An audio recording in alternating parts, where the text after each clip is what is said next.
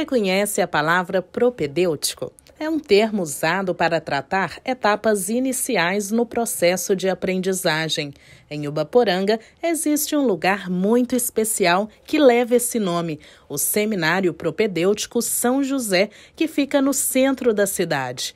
O espaço é destinado aos seminaristas no primeiro ano de formação. O Seminário Propedêutico é uma conquista da nossa Diocese de Caratinga e, inicialmente, ele, ele, ele começou em Entre Folhas, na cidade de Entre Folhas, do ano de 1998, com Dom Hélio Gonçalves Heleno. Esta fase chamada propedêutico para o processo formativo é uma fase muito importante, porque aqui a gente lança as bases, o alicerce inicial, para a formação sacerdotal.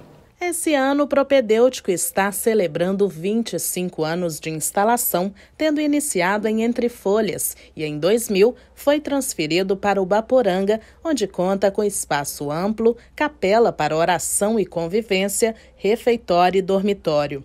Hoje, o local acolhe quatro jovens. É uma experiência muito importante para essa caminhada seminarística, nós que nos preparamos para o sacerdócio.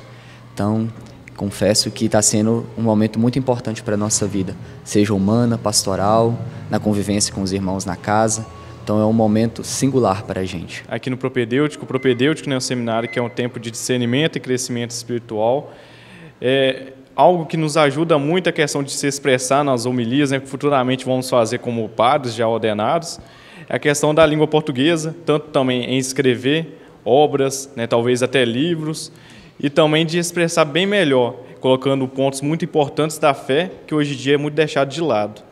Padre Raniel é pároco na paróquia São Domingos de Gusmão e reitor do seminário. Ele deu detalhes desse primeiro contato que os jovens candidatos têm com a vida de estudo e oração. O processo inicial aqui do propedêutico ajuda a melhorar a qualidade do ensino, o ensino médio, para o candidato e se desenvolvendo melhor com, com várias potencialidades, eh, potencialidades para ele se expressar melhor até como presbítero. Segundo o padre Raniel, depois deste primeiro ano, os seminaristas vêm para Caratinga no Seminário Diocesano Nossa Senhora do Rosário.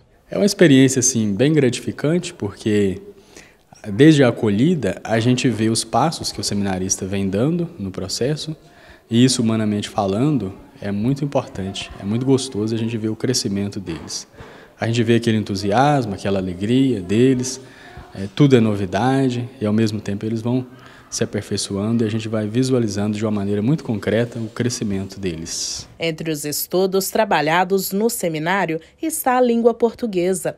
Há três anos, Liginha recebeu o convite e aceitou dar aulas no local, desenvolvendo gramática e produção de texto. Recebi o telefonema do meu amigo Padre Ademilson, dizendo de que o Seminário Propedêutico São José do Vaporanga estava necessitando de uma professora de português.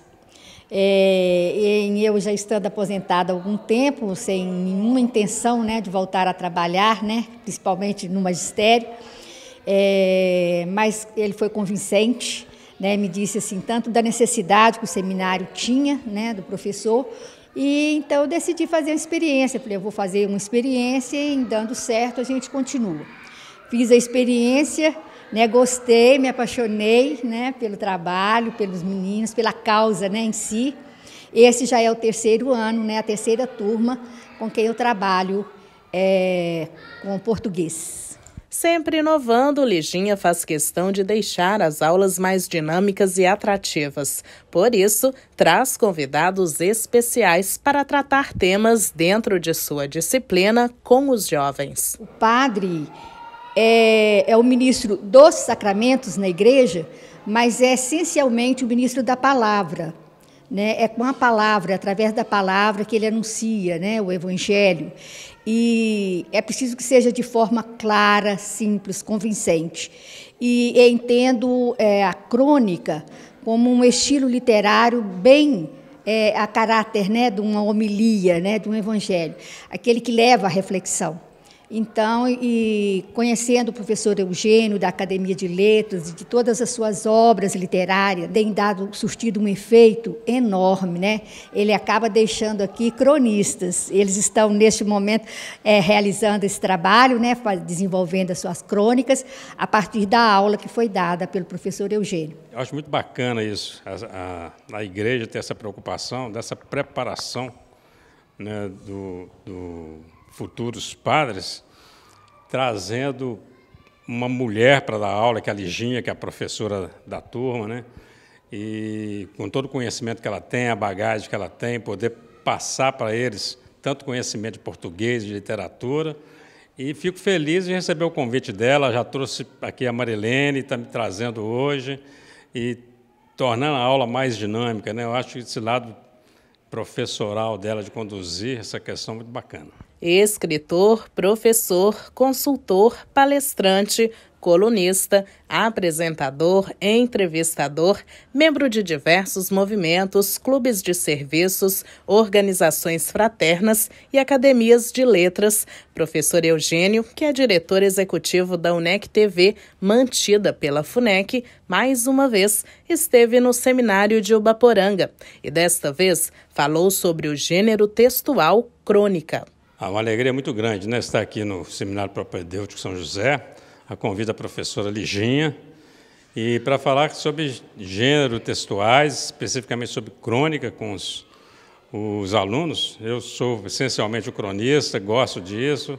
Então é um momento muito bacana, é, analisando textos com eles, interpretando, e vamos terminar esse, essa manhã aqui hoje com eles construindo textos. Sim, porque a crônica ela usa muito da questão da criatividade, né? Como o nosso cronista falou, Eugênio, a gente pega assuntos até mesmo banais e torna algo bem mais profundo. E assim também é a nossa missão, né? Nossa caminhada de fé, a gente pega assuntos e aprofunda cada vez mais. Nós temos aulas com a professora Lígia, né? Durante esse tempo do propedêutico, mas sempre ela procura trazer para a gente pessoas que trabalham é, de uma forma mais própria na área, né? Hoje trouxe o Dr. Eugênio para falar para a gente sobre as crônicas e é muito bom porque a gente escuta de pessoas que fazem aquilo ali no dia a dia, trabalham com aquilo, pessoas diferentes, atrai a gente de alguma forma com algum assunto e isso para a gente é muito enriquecedor, nos ajuda sempre a ter um outro ponto de vista de coisas tão comuns no nosso dia a dia que podem ser transformadas em textos, né?